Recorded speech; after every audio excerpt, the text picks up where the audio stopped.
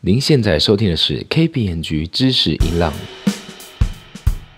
KPNG on KPNG on KPNG on 传播知识音浪。欢迎收听 KPMG 知识音浪节目，我是主持人 Peter。在室内不再需要强制戴口罩之后，象征过去三年的疫情流行已经到了另外一个新的段落。在这个时候，让我们来谈一谈转型变革吧。在企业经营的面对的转型变革路上，最近这几年确实发生了非常多的黑天鹅事件，从俄乌战争、地缘政治的冲突，一直到疫情，种种的挑战都让企业的经营产生无可回避的课题。我们不再把挑战当成一个专案，而是被迫要在紧迫的环境以及时间底下，限期完成各样的改善以及绩效的提升。在因应变化的路上，究竟要如何用现有的成员来完成新的变革呢？这一点是非常重要的，尤其对于家族企业来说，尤其是如此。本期节目，让我们邀请 KPMG 安和建业家族办公室主持会计师郭世华柔内，邀请柔内和我们来分享，在疫情流行后如何创造一个新的持续变革的文化。让我们欢迎柔内。Hello，柔内你好。Hello Peter，你好，各位 KPMG Podcast 听众，大家好。我想先请教一下哦，过去这几年，当然疫情的流行让很多的产业都有了一些负担跟包袱。在面对新的时代来临之际哦，如果我们回首过去这三年五年的时间，您可不可以帮我们举一些例子？就是在全球甚至是两岸三地，有没有一些家族企业在尝试新的转型呢？嗯，的确是有的，而且我发现说，现在的家族企业所面临的这个挑战其实是更为复杂，而且呢也是更为艰巨，因为一不小心可能就全盘皆输哦。是我先说说我们 KPMG Global 从二零二一调查二零。二零的这个疫情开始，一直到今年二零二三，然后回顾看二零二二这三年的变化，从二零二零到二零二二，发现说，如果以全球国际型的这种大型家族企业来说，从二零二零的所谓家族人才回归家族企业，协助就是转型以及这个渡过难关，到了。二零二一的时候呢，就是发现说，这个必须要拥有一个创业的精神。所谓创业的精神呢，其实就是不管是上一代或者是下一代，都需要有转型创新的精神。就像彼得·杜拉克说过的，创业精神其实不是一种人格特质，它是一种行为。而这个行为指的呢，就是要持续不断的创新转型。这个我想在现在当代社会，即使没有 COVID-19，其实也面临了我们所谓的 AI 转型、大数据转型等等。到了这个二零二三年回顾看二零二二的时候，我们又发现了国际型大型企业他们的这个家族企业的变革，会以家族的这个资源呢，多方的培养。家族的优秀人才，也就是说，不再把优秀人才都聚集在家族企业里面来任职，反而呢是会用家族的资源，把优秀的人才呢放到各个不同的产业。希望这一些人才未来能够在家族企业面临了像 COVID-19 这么严峻的考验的时候呢，可以架构出家族企业所需要的外部资源一个强而有力的资源。所以我们可以看到呢，其实，在国际上呢，许多的家族企业这次能够渡过难关，的确是因为说他们的这个家族人才可能是在。财经界，或者是在金融业，甚至于说是在货运业，都有自己的一个舞台，所以才能够协助家族企业在没有损及口袋太多的情况之下，度过了 COVID-19。这是一个趋势。是，然后再来分享第二个趋势的话呢，是说现在的家族企业大概都会崇尚呃异业结合。我们以前说，可能工具机大概它找的就是机械业啊，或者说是电机业，但是现在呢，工具机也可能转为到家电业，就像我们说的那个除草机器人。这个案例呢是在我中部的一个客户啊，哈，哦，他这是实际发生的，对他本来是做工具机的，是但是呢，他觉得现在以工具机来说，实在是太单一 focus 了，而且呢，也渡不过 COVID-19 的难关。未来如果再有这样的冲击的时候，它势必需要有所谓的第二主力产品。所以你可以看到说。这也印证了我们 KPMG Global 的调查，也就是说，家族企业不会再以它本来所处产业的龙头，它的一个发展方向作为它跟着发展方向的重点，反而是会寻求从另外的异业结合，创造出自己和这个策略联盟的一片红海，反而是这样。那我回过头来说，我们说的这个呃工具机的这个产业，那其实呢，我发现不止这个工具机，还有一个家族企业呢，它是属于做光电业的。然后他们现在也是想要做这个 AI 除草，为什么？因为它的这个 sensor 感知的能力很强。那我说的工具机，它是马达很强。是啊，我们希望说，其实这个部分我倒是也看出了一个端倪哦，在我们台湾的企业呢，或许在这个部分可以走得比国际型大型企业更快。为什么我这样说？譬如说，就以除草机这个例子好了，我们说它需要马达。它需要 sensor，是它也需要机械业的刀具，它甚至也需要家电业的设计感。那这些呢，在我们台湾，其实现在有很多的二代，有很多二代的社团。在这个社团里面，如果说他们不再是说只是平常的聊聊天，而是可以一起脑力激荡，然后呢，很容易，其实我发现很容易在这样子的二代社团里面，就把我刚刚说的这些产业全部聚集起来，串联起来。对，而且还有一个特性是，他们彼此了解，所以少了那个所谓的诚信测试的这个阶段。还有一个是彼此也了解口袋有多深，是，所以这个新的这个 project 可以做得多大？那这个其实真的可以节省很多的时间。这个我觉得是我们台湾的企业虽然不是那么大型，但是因为地方小，凝聚力够，然后呢，就是串联跟沟通其实也很容易，所以我觉得这反而是我们的一个转机。等于原来这个在银行端或者说财务顾问要做的滴滴，已经做的差不多了，可以这样说，也可以这样子说，是对啊。那但是您提到的这个主动转型哦，它是有些风险的，所以在家族企业的这个变革的路上哦，你们观察到了有哪些常见的问题？不管是台商也好，或者是国外的家族企业的案例。其实家族企业这个部分哦，通常他们在进行新的 project 或者是说新的一个转型创新的时候，大概都会衡量自己的口袋有多深，然后呢再看看这个新产品从 idea 发想一直到产品上市，甚至是找到客户，那这段期间有多长？需要花的资本支出以及这个我们说行销费用大概会有多少？那通常呢，比较保守的家族企业可能会把这样子的一个预算算出来以后，再把它 mark up 几趴上去，来作为一个 a s o b 哈。那以这样子来说的时候，他就会说，万一如果说这个不成功，那会不会损及到我母体？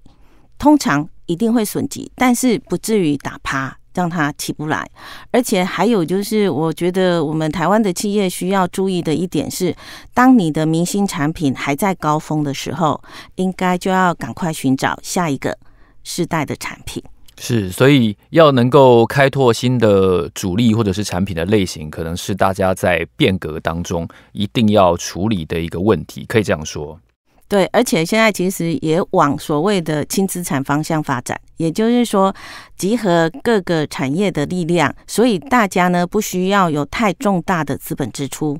反而是 focus 在所谓的耐性资本，但是呢，这个耐性资本投资金额又不会太大，因为各司其职，所以呢，每一个产业其实它并不需要花太多，因为都是已经 focus 在它的原来的核心产品，所以它既有的这些机器设备或者是产线，甚至是研发人员，都已经有足够的能力，只是很难的是一个如何把这一些各个产业的人才聚集起来，变成是一个很。很强的，而且有效率的研发团队。是，您刚才提到在过去两年的这个家族企业的调查报告当中的一些结果，那我也想好奇问一下，因为以往我们听到台商在接班的安排当中比较困难的一点是，年轻的一辈但不愿意回归，或者说跟老的一辈有一些观念上的隔阂，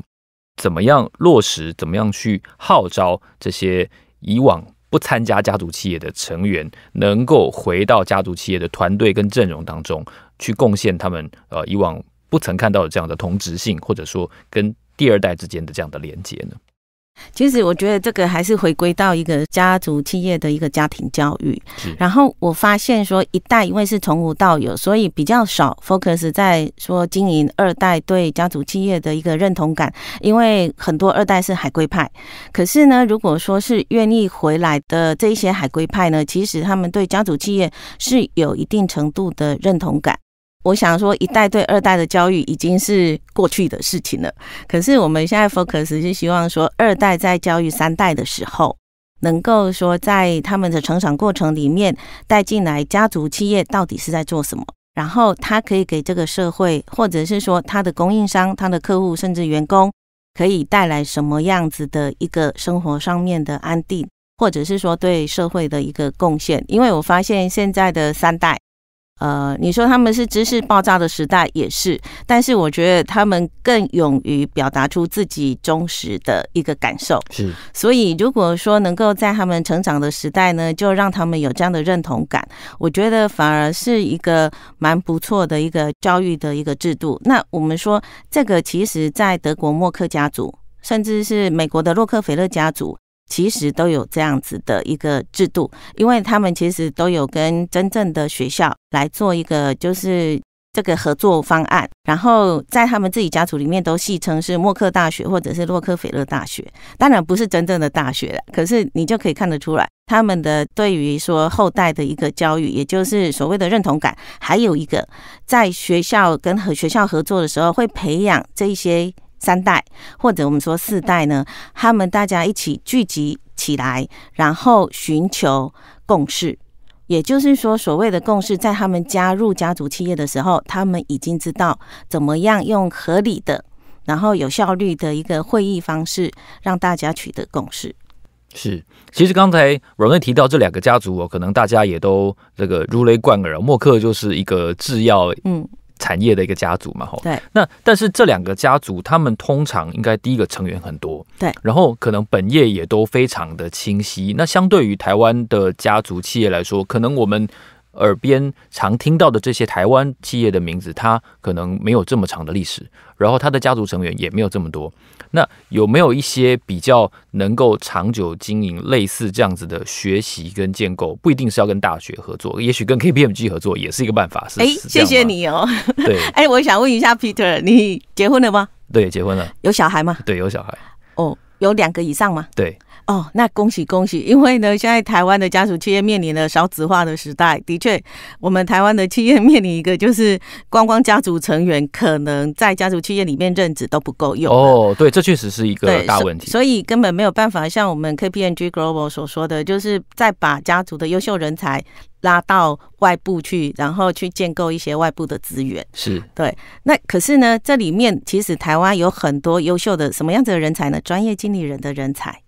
那我们是想要说，如果我们台湾的二代、三代能够好好的跟专业经理人共治，其实也是可以打出一片天。这个部分呢，其实就以丰田来说好了。你看哦，丰田它到现在已经，就我了解，已经十几任的这个执行长。可是，在这十几任里面，事实上不到一半是由丰田家族来担任执行长。以现在的这位丰田张楠，他最近不是卸下了这个执行长对，刚刚交接。对，他在担任执行长有十四年，可是他其实担任执行长之前，已经在丰田有几乎三十年的工作经验。哦，这么长了。对，可是在他还没有担任执行长的时候，是一个专业经理人在治理的。你就可以发现说，丰田他们其实这个家族呢蛮特别的，而且这个企业其实也很特别。他们是以当下对丰田企业最好发展的人来担任这个执行长，所以他们家族成员不会 focus 说一定是要我家族成员来担任。然后专业经理人呢，其实也会努力培养这些家族企业的成员，能够说在适当的时机变成是执行长。然后我们分享一个丰田章男说他是最爱汽车的人，他自己会开赛车，我听说。对他很爱汽车，他是爱车成痴。但是他现在把着的这一位呢，在他们的业界里面是说他是一个最有汽车爱的人。你知道这里面的差异吗？呃，一个信丰田，一个不信丰田啊，不是。所谓最有汽车爱的人呢，就是现在的佐藤恒志，他其实是 focus 在。驾驶者以及副驾跟这些乘客如何能够有一个舒适的乘车环境。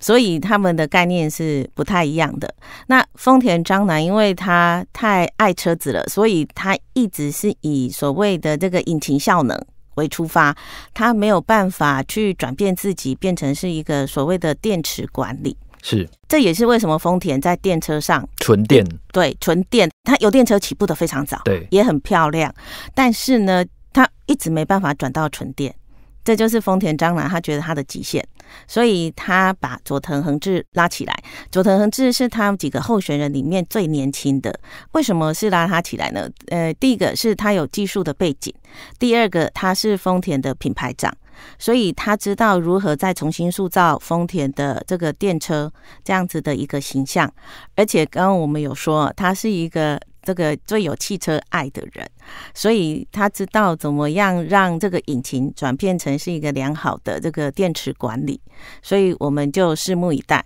丰田企业的确是一个非常值得我们学习的。除了说在我们家族企业的面向，你可以发现很多的管理方式也都是从丰田这边创出来的。是，但是刚才荣瑞提到的这个丰田，让我想到说，很多的日剧里面会演一个情节，就是说，如果没有儿子的时候，日本的企业他会用过继的方式，用养子的方式，或者说让这个女婿来接班。然后，但是这两个在我们熟知的这个华人的环境里面，几乎是非常少见到的，这也是在寻找人才上比较困难的一点，对不对？的确是，我觉得这个就是我们台湾企业的一个，呃，算是紧箍咒吧。因为我们太 focus 在所谓的用同姓，就是说都要是同样的姓氏来传承。那其实你可以看得到，丰田的话倒是没有女婿了哈，但是他有侄子，哦，也就是说旁支的来担任执行长。然后其他的话，其实有一个，我觉得还蛮。可以跟大家分享，就是爱马仕。是爱马仕现在的执行长，其实不是姓爱马仕哦，真的吗？他从第三代开始，因为他在第二代传给第三代的时候，第三代只有两个女儿，所以他是传给女婿。是，但是呢，后代的虽然都不是姓爱马仕，可是他们还是以爱马仕这个姓氏为荣。也就是说，我们要有一种超脱的观念，我觉得啦，就是说，因为现在姓氏也可以从母姓嘛，对，然后所以我觉得姓氏倒不是那么的绝对，反而是说对于这个家族企业的理念以及它的一个核心价值是有根深蒂固的认同感，这个比较重要。所以你可以看得出来，日本有非常非常多的这种家族企业，都是已经上百年，甚至像龟甲万也是。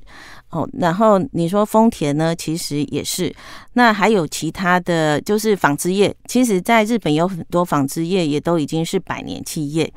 为什么可以这样子的，就是传承下来？因为他们在选择接班人，我觉得的确比台湾的企业更有弹性，